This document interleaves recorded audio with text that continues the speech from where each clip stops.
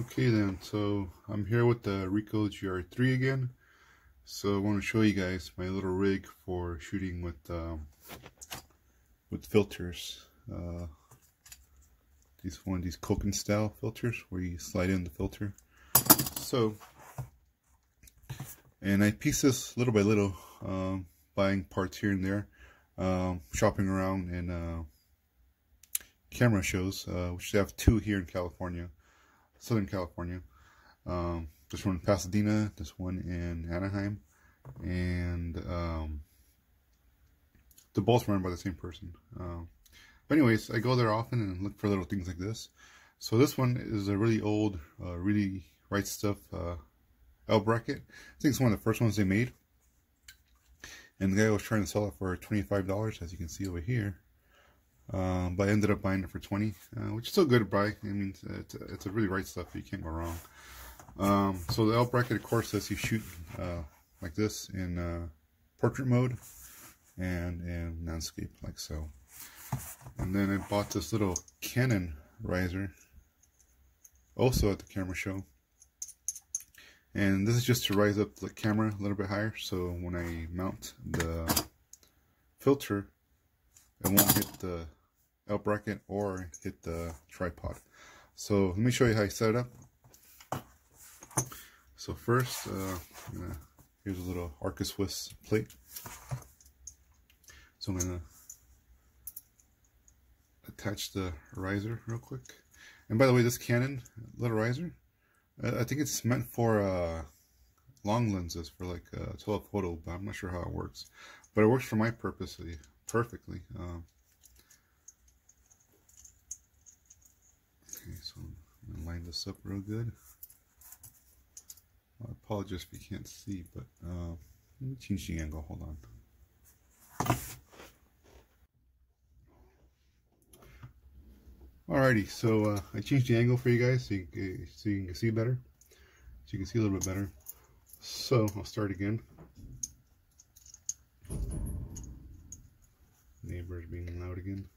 Anyway, so I got the Arca Swiss style bracket here.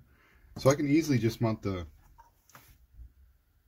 GR3 on it with the L bracket, but it's going to hit, the filter's going to hit either the tripod or the L bracket. So I'm putting this little spacer on top of it, so I'll just raise the camera a little bit higher.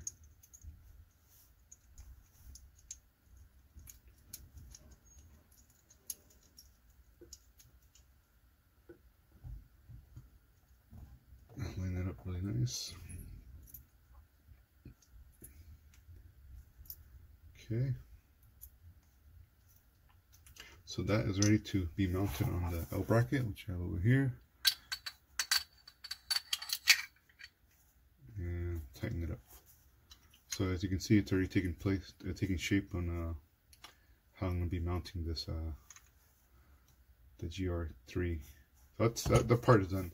So now, here's a GR3.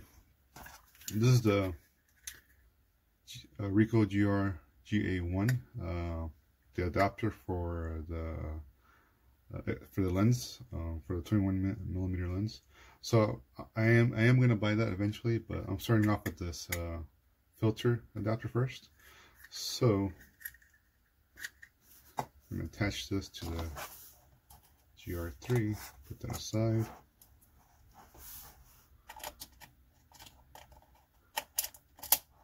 It's on there securely. A little bit of a play there, that's fine.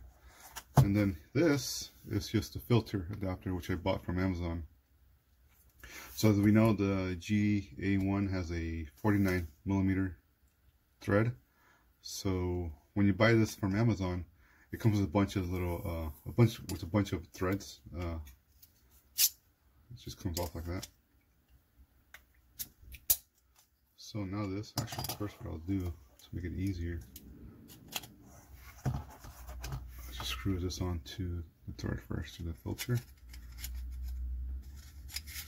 Oops, wrong way. Make sure it's on the right. Tighten it a bit. There you can see it's already attached to the GA1. Now all you do is attach it And now you have a GR3 with the filter adapter, like so. now you could actually attach the L bracket to the camera.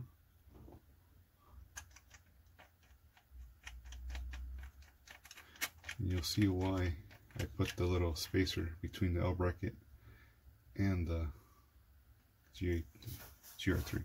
So now you can see how the spacer works. So it just raises the camera a little bit higher so it won't be hitting the the L bracket or the tripod. So again, with this L bracket, I can shoot landscapes or portraits like so. And here are my filters. I'm just going to put them on so I can show you guys.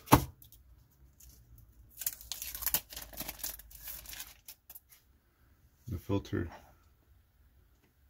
on like so. That looks pretty cool. Not bad, right? So next I'm going to show you how it looks on the tripod. Um, I'll figure it out, but uh, let's switch to the tripod, how it's mounted on the tripod. Okay, so here I have it set up on a tripod. It's one of my cheapest tripods that I have. I actually had this one for well over 10 years. It's a Proline. Uh, but it's perfect for the GR3. It's, it's not heavy at all. So here it's mounted on the tripod with the L bracket, as you can see. It's kind of hard to see because of the lighting. Uh, let's see. There you go. That's a little better. And if I wanted to, I could um, switch it to portrait mode, like so. Do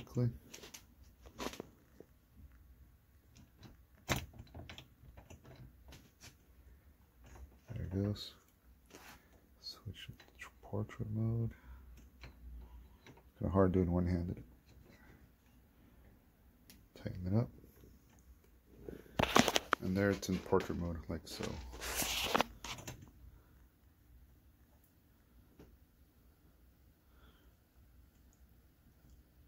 So in total,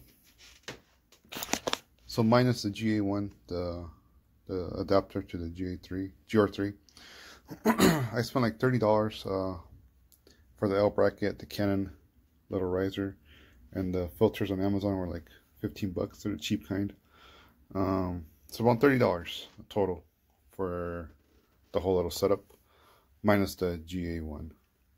So if you're interested, take a, you know what to look for. Uh, these I found, I found one on eBay, the Really Right Stuff L bracket, same one for about $80. Uh, but I'm sure you could buy cheaper ones. Uh, and this little Canon thing actually goes for a lot of money. I bought this for $10 at the camera, camera show. But on eBay, they go for like $40, uh, which I'm not going to get rid of this. I was going to sell it, but now I'm going to keep it since I, since I found the purpose for it. Uh, but they go for around $40. Uh, And yesterday, I took it out in the field just to get a feel for it. And um, took some pictures of a little landscape, uh, of a landscape in, here in LA, and uh, I'll show you that right now. But thanks for watching, and have a good day.